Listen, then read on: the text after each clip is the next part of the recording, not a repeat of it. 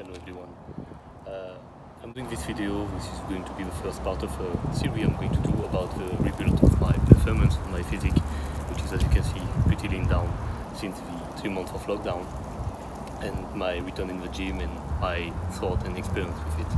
So it can benefit you and also can help you see how you can go back, increase the groove and uh, uh, get back all the mobility, the strength, the explosiveness and also the drive of the gym because those are the three main points you need to have. So I will show you the stats that I had before lockdown and right now.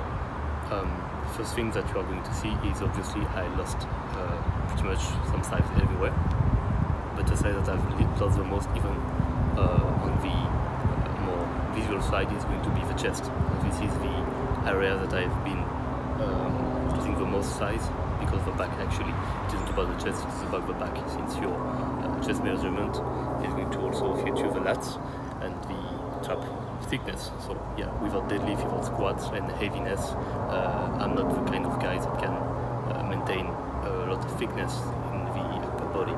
Since I have a pretty slim uh, morphology, I have a really thin body type. My bones aren't that big uh, at the beginning, and uh, my rib cage is really really tiny. So yeah.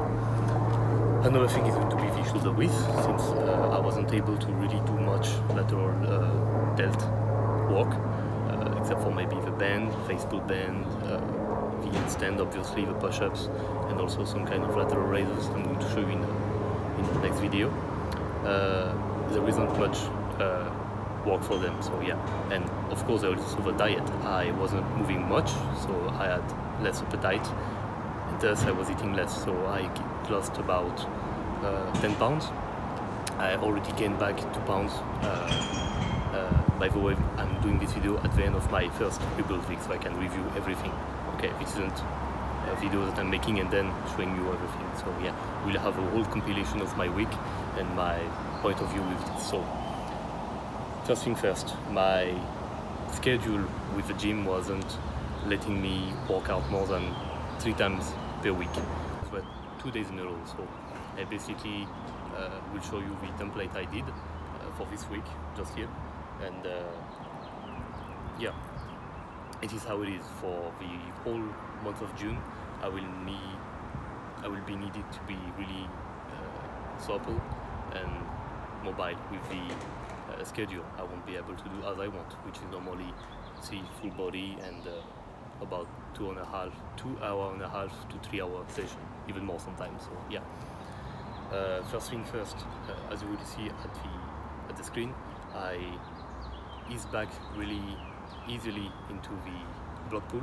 I did it with snatch but it was in the Smith machine. But it was in because no other piece of equipment was available. No blocks, no barbell, no rack, nothing. So yeah, and when you're going uh, back into training, I think the movement that are putting a lot of stress and stretch on the muscle aren't really the most uh, required movement. You shouldn't be uh, doing them immediately since they are going to be also the ones that stress the much the joint, but also the fascia, which are the area of your body that will need the most time to recover. So, yeah, uh, except if you're doing really low volume or are really sure about yourself uh, about it, don't do it. So, yeah, I was doing some block pull, and the first the first thing that appeared to me was that because of the time that was pretty restricted, I wasn't going to be able to do a lot of sets, a lot of volume. So I was going to exchange this volume with intensity. So I immediately got up to three plate to go into one as many reps as possible set.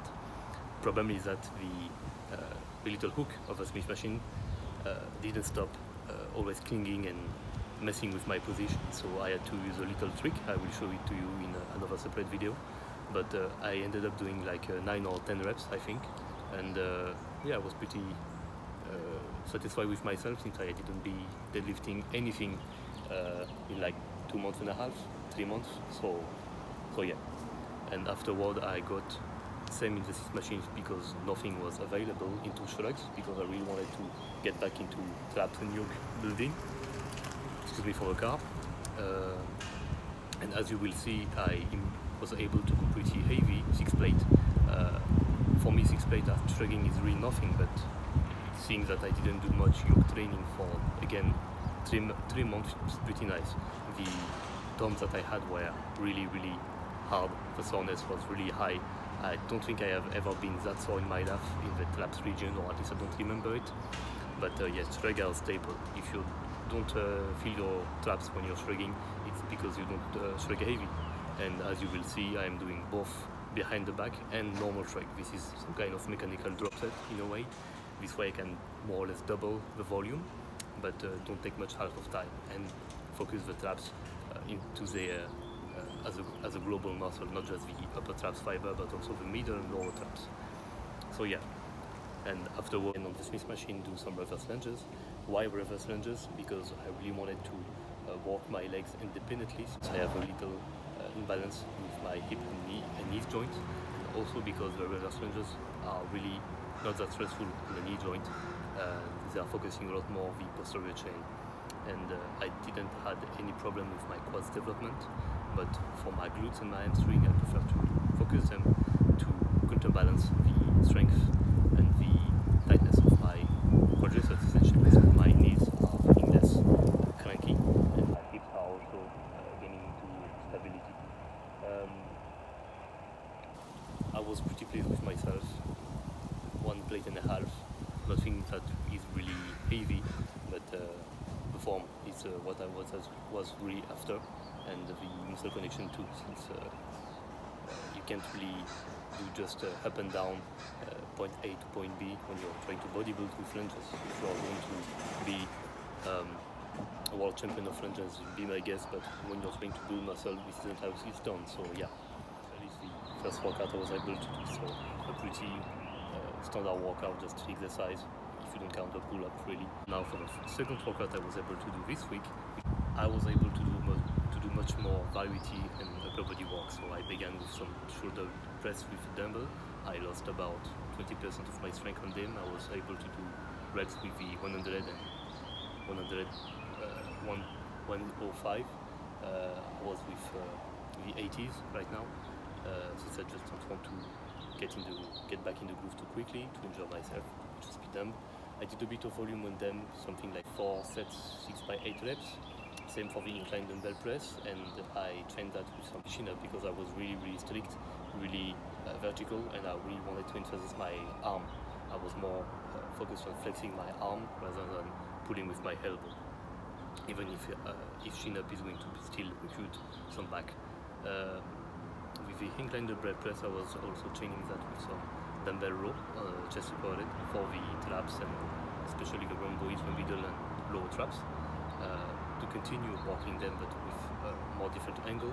When you're a natural lifter, you're supposed to walk your muscle uh, multiple times during the week, but each time changing the angle, the resistance, and also the focus. Uh, sometimes we'll be uh, focusing on stretching them, sometimes on flexing them, and sometimes in between, mainly for light or volume work. At least in my opinion, that's and that's what worked for me and for my training. So yeah, afterward I was able to do some uh, shoulder work but also some arm work. So just a bit of isolation. I was uh, able to do some cable. So I really wanted to emphasize my rear delt and my lateral delts. I really want them to be uh, standing out in my physique. So I did a lot of volume on them, three sets, but with a, a drop set each set. Uh, I was, uh, I think, uh, removing something like 30% of the total weight. Now for the arm, I really wanted to stay pretty simple, so I just did some BTN extension or French press if you prefer, seated on some really small bench, uh, which is really uh, smart as an idea since you have all your upper back free, but uh, which is also really uncomfortable. So yeah, uh, and I changed that with some pinwheel curls, which is basically a hammer curl, but you're doing it cross crossing your body, which is going to put much more emphasis on the brachial of the biceps and the brachioradial, which is on the forearm. So yeah, just lightweight. I was just uh, trying to flex and uh, to really get the mind muscle connection working since uh, biceps are usually a weak point for me. Um, and uh, yeah, quick note on the portion of the workout. This machine was able to be used at some point of the workout, so I did three short sets of Bulgarian split squat with Smith machine, which is for me a fantastic exercise for the glutes.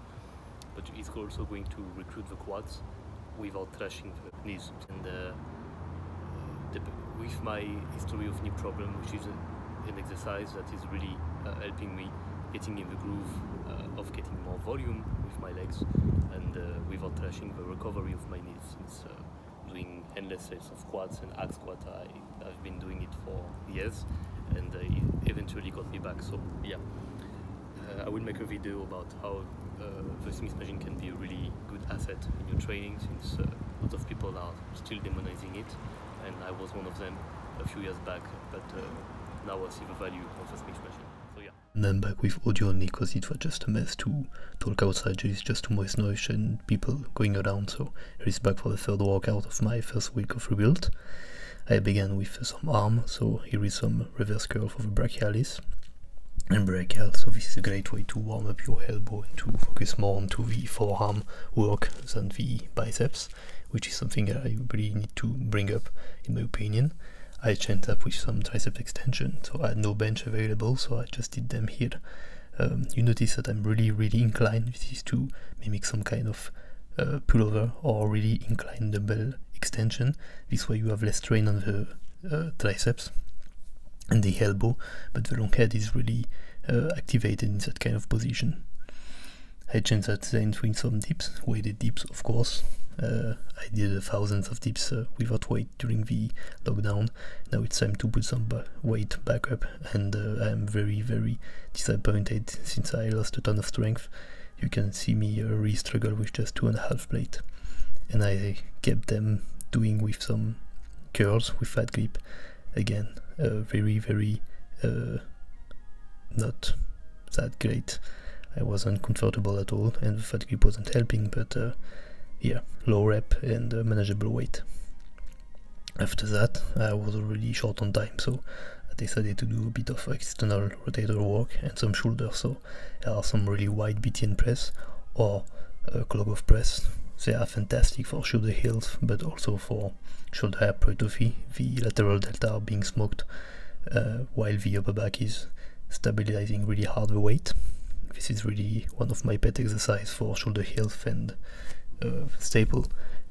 With that Klokov press I was doing some tricep extension on the cable, really nice and easy smooth form with a bit of rolling triceps extension to um, really activate the long head. This way you also save a bit your elbow. Normally I'm not uh, doing any superset where you are working more or less the same weight, the same muscle, but uh, here I had no choice. And I finished with some squats, so just one plate. I did a high rep about 10 to 12 reps and I was alternating between back squat and front squat. I initially filmed front squat but the angle was too ugly so we didn't see anything. So I just show you the back squat. So as you can see I'm doing full weight, full rep, full range of motion. I'm going as low as possible to really shut everything, the lumbar, the glutes, the hips, but also the quads the, and the calves. So yeah, that's it for this uh, week.